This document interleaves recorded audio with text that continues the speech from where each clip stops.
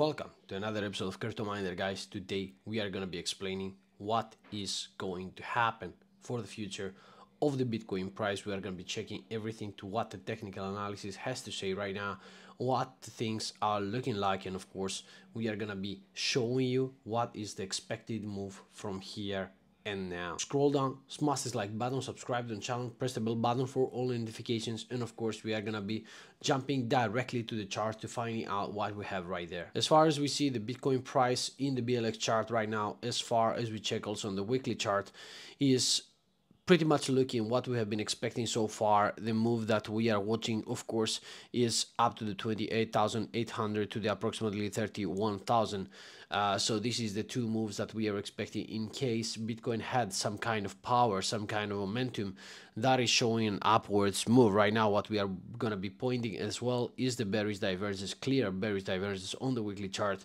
So what we could see is another move and then leg to what's the downside regarding to what the BLX chart is proving at this point. Now, however, uh, what we would like to see as well, guys, is the fact that, of course, if we are going to be dumping even down to the 14,000, yes, this is a chance then we could see another move and a very nice W pattern playing out at this point, a double bottom scenario basically. So we could see a further move towards the upper side and of course this would be another chance and another uh, point of bullish divergence and we could have another very nice leg towards the upper side. So we can expect from then after we are actually reaching the downside even at the 4th of March by 2024 another leg towards the upper side and of course breaking out the resistance line that is standing right here and this would be the major major major step so we can see further price action for the next bull market ram going down on the daily chart the things that we are expecting guys is those two beautiful scenarios that i have been posting also in my twitter account. You can easily go and find everything right there uh, is the fact that right now, yes, we could see another leg towards the upper side, and of course, a very nice move uh, to the 26,300. But this is the max price in case we are reversing, and of course, we are going to be checking also in the lower time frames what is happening at this point. This is pure uh, fractals, pure uh, data, what is happening in the charts right now. What we are going to be pointing as well is the fact that we see bearish move right here in the momentum waves and of course on the downside and of course a curve to the money flow. So yes we could have another leg towards the downside but we are going to be showing as well what we are expecting because this has to do also with the time limits. We are going down to the six hour time frame and what we are going to be pointing right now is of course this very nice small bullish divergence we have right here that they could have another leg towards the upper side. But uh, here guys i wanted to say that we have to see uh, this price as fast as we can uh, within like three days.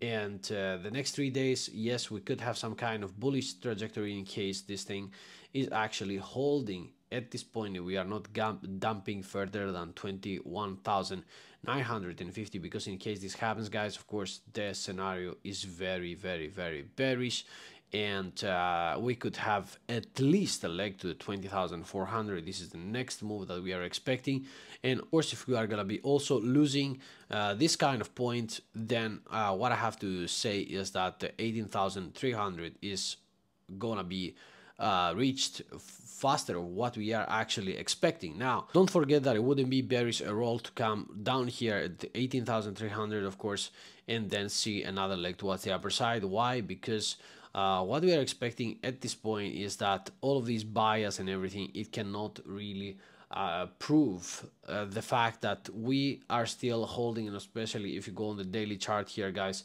you see very nicely that we could have another price reversal and of course another leg towards the upper side so we can see the curve of these EMA ribbons, the crossing down and of course the other leg towards the downside. So uh, it could be a scenario that we are dumping all the way to the 20,278 uh, and then reversing back to the 22,200 and then another leg towards the downside. It looks like a corrective wave to all of these moves that we had until now. However, however, this scenario at this point that we are gonna be uh, kind of kind of uh, breaking this resistance line down here uh, it could have, of course, a potential leg towards the upper side, and of course, finally visiting uh, the area 26,500 almost. Now, why am I pointing to this scenario? Is because, guys, if you are gonna coming down here, then more money will enter the market, and of course, more people can have the power to uh, take this all the way up to the 28,560, and this is the level where I'm watching right now. Meanwhile, in the DXY what we are going to be uh, also analyzing here is the fact that this fake out move that I have been explaining in many videos guys I have been explaining also in my Twitter account. This is what happened. This is why we have been dumping so far. But this guys is looking like a crazy crazy bull flag scenario uh, and if this guys is going to break to what's the upper side at 105 to 100 and 573 what I have to say guys is that uh, we could easily visit prices to the 122 this is a level where I'm gonna be pointing approximately uh, here. And we can see also by the fib levels very nice uh, like kind of retracement is exactly do you see right now. Is it's just unbelievable. Guys 121 uh, this is the level where I'm expecting at the first price uh, in case we are guys breaking and we are holding over the 105 for the DXY this of course is gonna mean very very very low prices uh, for the rest of the financial markets and of course pretty much a disaster that is about to be um, for not only for the S S&P 500 but also for the Nasdaq. So uh, please keep this in mind. It's not something that we could play with. And uh, what what we are going to be pointing right now is that we have a kind of hidden bullish divergence here. Uh, we could see another leg towards the upper side. In case this breaks right now things are going to be looking very very very bad uh, in case we are holding prices over the 105 however positive thing right now in case we are going to be reversing to what's the downside and of course reaching the 102 this is the prices where, gonna, where we are going to be. Uh, actually mentioning in case we see this kind of uh, 102 then of course the double bottom formation another bullish move towards the upper side for the DXY where we are going to be also checking the financial markets uh, start giving a kind of pump. We have seen also on Friday uh, closing both Nasdaq and S&P they have been looking very very very healthy and good.